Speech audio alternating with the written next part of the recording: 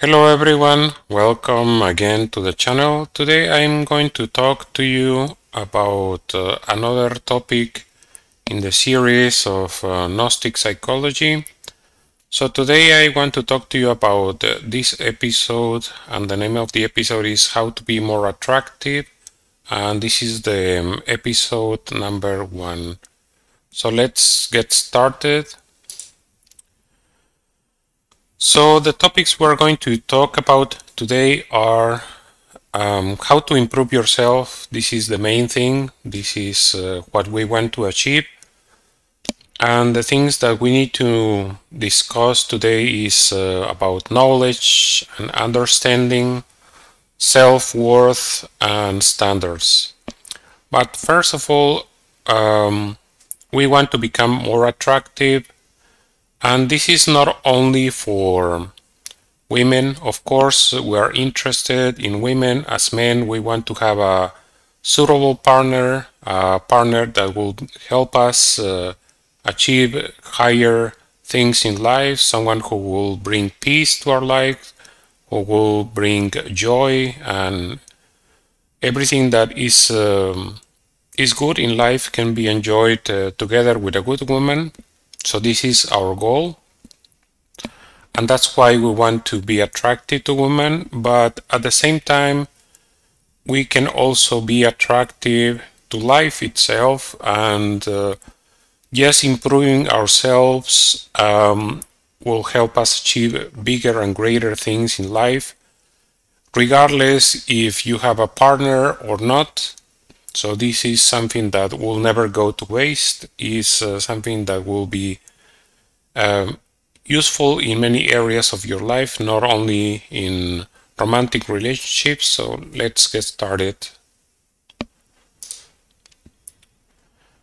First of all, we want to have um, deeper knowledge about our own self and this is um, a big uh, how to say area in which uh, many of us are lacking. We need to know ourselves deeply and uh, gnosis gives us the practices the knowledge on how to achieve this. And we can use the practices of self-observation retrospection and self-awareness that we discussed already in previous episodes and what are we looking to discover? What uh, what are the things that we really don't know much about? Is our emotions? We really don't know our emotions uh, so well. We are, in many cases, victims of our own emotions, of our own feelings, and they come upon us, and uh, we become usually identified with them and in many occasions we even become over overwhelmed by emotions overwhelmed by feelings. And this is uh, something that we need to learn how to avoid. But first of all we need to even become aware of them. We don't know our emotions. We don't know uh, how our emotions come to be. And uh, first of all we need to um, detach ourselves from our emotions, from our feelings, and become the observer. That's why we're doing the self-awareness practice, and that's why we are doing the self-observation, because we need to develop this sense that our emotions is not who we are. It's something that we own, is something that happens within ourselves, but it's not who we are, it's something that uh, in a way we own and we need to detach ourselves from it and be, become aware of how these things happen in our lives. So through self-observation, we can also uh, become aware of our own thoughts. What are we thinking? Why are we thinking it? In which circumstances we're thinking or feeling anything else uh, is uh, uh the knowledge that we lack. And this lack of knowledge of our own psychology of our own life, um, it will be detrimental for our goals to succeed to succeed in life. So that's what we want to know. We want to be aware of our own sensations because sometimes we're not even aware of them. Uh, we don't know our own reactions. why we react in a certain way, uh, exactly which are our triggers, because uh, if we are not aware of our own triggers, psychological triggers, we basically become some kind of a robot with multiple psychological buttons that anyone can push. So when someone pushes our buttons, we will react in a certain way. And sometimes we're not even aware of the situation. We are not uh, aware of the, the fact that we react mechanically, instinctively to different uh, situations, to different uh, actions that people do. Uh, so if we are aware of these triggers, we will be able to uh, know more about ourselves and react in a different way with the help of the Gnostic practices. So basically, we want to be aware of our own weaknesses, psychological weaknesses, emotional weaknesses, uh, even uh, physical weaknesses. We want to be aware of them. We need to be aware of our own body. And this is even our own body, we don't know it. We don't know our own body, we don't know our body posture, we don't know our body language, we don't know uh, why we uh, behave or act or move in a certain way, we need to pay more attention to all these. This there is um basically a big treasure treasure waiting to be discovered about our own selves and it is ours for the taking. We just need to start doing the things that are necessary for this and this will really improve our lives in a, a very dramatic way. Also, we need to be aware of our own inner dialogue because um, this inner dialogue sometimes, in many occasions, can be detrimental, can uh, put us down, can uh, cause um, some kind of lack of motivation, even our own uh, insecurities can prevent us from succeeding in life in many areas of our life.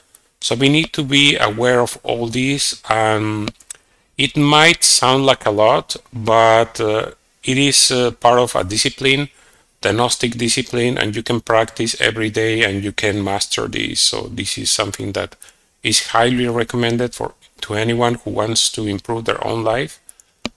And also we can develop some understanding about ourselves because uh, all of these things we're now we're uh, developing some knowledge about ourselves. Uh, we can see our emotions feelings thoughts sensations reactions triggers weaknesses our own body our own inner dialogue. But we lack the understanding. So we need to pay attention to all these things and then through meditation we can uh, understand and gnosis unlike many other um, let's say, knowledge uh, or teachings that are available to people, Gnosis offers a solution. So let's say you discover your own triggers, your own self-deprecating inner dialogue, your own weaknesses in emotions, feelings, or thoughts, and you are aware of them, you understand them, but what are you going to do about it? So Gnosis provides us for, with the tools to solve the problem from the root. Do a radical solution that will be uh, challenging for uh, anyone who doesn't have the tools. They will struggle because uh, there is no solution. You're aware of your own inner dialogue and maybe through self-discipline you can change your dialogue, but you didn't change who you are, you didn't change your nature. And uh, Gnosis provides us with the tools and procedures so we can actually change our own nature. We can change our own psychology and really improve our lives in a radical way. Unlike uh, other teachings which provide, um, let's say, some kind of makeup, uh, superficial change that doesn't go deep so this is the the only difference that I'm I'm trying to frame it so you can understand uh, better what is the difference uh, between gnosis and what everything else you can find in other places. Something else that you need to um, improve, to do to improve your life is your self-worth, your sense of self-worth, how much you're worth, what is your own value. And uh, to do this, you need to love, respect, and take care of yourself uh, in every way possible because uh, if we want someone else to appreciate us, appreciate us uh, for who we are, we need to be able to first ourselves understand and appreciate ourselves. We don't know our own value. We need to love ourselves as we are and as, uh, let's say, strange as it might seem, there are people who think uh, or feel that they are not worthy of love. So they have a lot of problem, psychological problem loving themselves. They feel they are not worthy of love. They feel they are not worthy of respect. And uh, accordingly to this lack of uh, self-love, to this lack of self-respect, they are unable to take care of themselves in, uh, in a sensible way. So this is something that we need to do uh, and like I said in the previous uh, slide, is something that Gnosis provides us with the tools. So we need to have a radical solution, something that will change our nature. And of course, uh, self-discipline is useful, will help us to change our life uh, from from the first uh, days and later we can have more um, let's say, long, longer lasting change and more uh, significant changes, something that will really change our life for the better in, in a definitive way and not just in a superficial way. And we need to be aware of our own physical body and we need to improve our physical body. We need to improve our own health. We need to take care of our own health and uh, really own this matter in our own hands. Uh, we need to assess what is the current state of our health, what is the current state uh, state of our own fitness, our own appearance, bodily appearance, yes, physical appearance. So we need to make an assessment. We need to make an inventory and see, okay, uh, try to be realistic. What can I improve about myself? Maybe I can use different clothes. Maybe I can um, have a better care of my appearance. I can be clean in my appearance. I can change my uh, hairstyle, whatever is within my reach, you know. I There's a lot of things that we can improve and that will radically change uh, how others perceive ourselves and how we perceive ourselves. So if we improve our own fitness, our own health, this will allow us to go to the top, to the top of uh, let's say humans uh, in a, in a very normal way. Uh, to be honest most of people are unhealthy in this uh, day and age. Most people uh, are unfit for any kind of physical activity. They so if you become uh, healthy and you are able to develop your own fitness and become uh, in a you have a better body better looking body more fit and useful for anything in life, that will definitely improve your own self-concept and everyone else will also see it. So this will have a double effect. You need to take care of your mental and emotional health. Fortunately, um, in the Gnosis we provide the tools for this and it is basically um, like we said in the previous slide, you need to take an inventory of your own self, your own psychology, and work with the tools that Gnosis provides, and you can change your life in a very positive direction.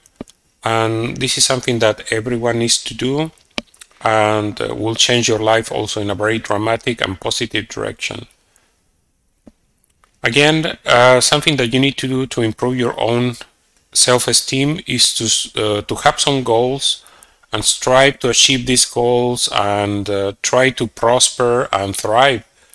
Because if we just stay in the same position in life, if we don't have any goals, if we don't have any objectives, if we want to um, grow, we need to have goals and we need to have a plan and we need to work to achieve this plan.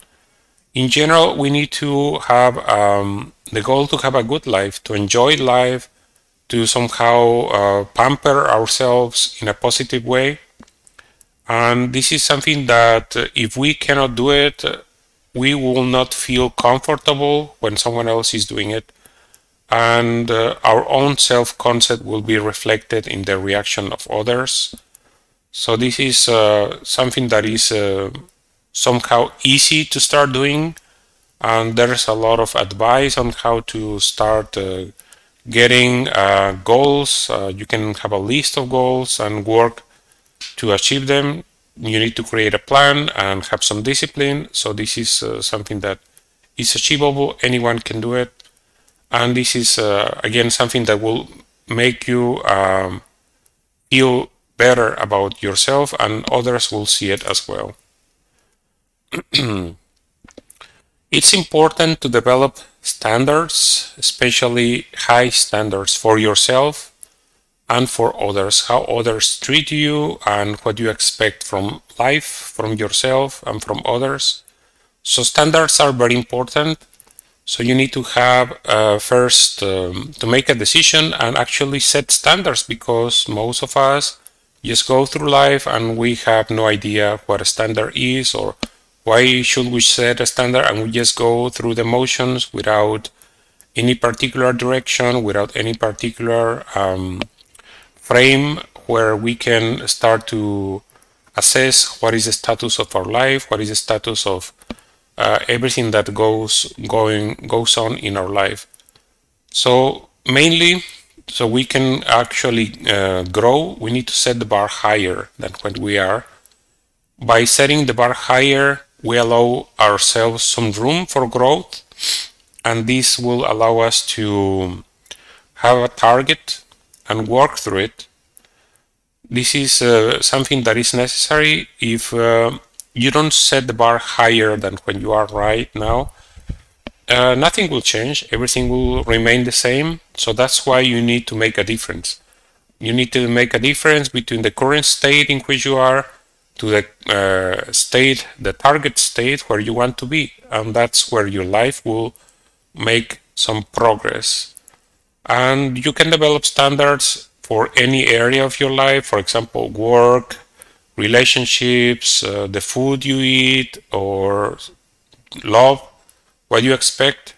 You need to make a list of the things that you want and don't settle for less than you think you deserve because you are the one who is going to establish these standards. So make sure that you settle standards that you are believable, uh, something that you can believe. And if you have very low self-esteem, probably you need to sell, set a low standard at the start, but whatever it is higher than you are, it will allow you to grow. And then as you grow, probably your own self-esteem will grow as well. And if you practice uh, what we teach about how to uh, do ego death and how to um, eliminate negative emotions, uh, you can change this in a radical way and you will get rid of uh, the self-esteem issues in a more definitive way than if you do it just by using means of uh, uh, pure discipline. And work diligently towards your goal. This is uh, something that you need to do it. And uh, it is necessary to work with a positive mood. Work because this is something that you created nobody else imposed it on you so work happily towards your own goals towards your own objectives. Try to work with a good mood and uh, don't think that this is uh, something hard because it's something that you want. So you will achieve what you what you want if you work diligently and happily with a good uh, good mood and good intention. This is uh, something necessary for everyone in life and it, you need to start somewhere you need to have a method you need to have uh, the tools to do it, the knowledge to do it, and that's what we strive to do here in this channel to provide uh, people, especially men, with the tools for for their own uh, self-growth. And finally, I want to invite you to reach for the top. This is something that you really can achieve. It's something that you um, have the possibility to do and we are going to help you. We are going to provide you with all the tools, with all the knowledge that you you need to, to achieve all your goals and uh, have a better life. And like like I said, this is um, one of a series of episodes in which I'm going to give you some things that are necessary to make yourself more attractive not only for women but more attractive for life in general uh, so you will have a much better and much uh, healthy life. And definitely happy is uh, a status that you can reach at any point. You don't need to wait you can be happy today is just a decision you can make so that's all I wanted to say for now let me know what you guys think about it and uh, if you have any comments or questions, you can do it in the comment section of the episode. And as always, I want to remind you about the opportunity to help me support my work. As content creator, I include in the description section of each episode uh, information about different platforms you can use to support me with donations. If you want to, you can also uh, like, share this episode in social media and subscribe. I hope to see you again very soon. Thank you for watching.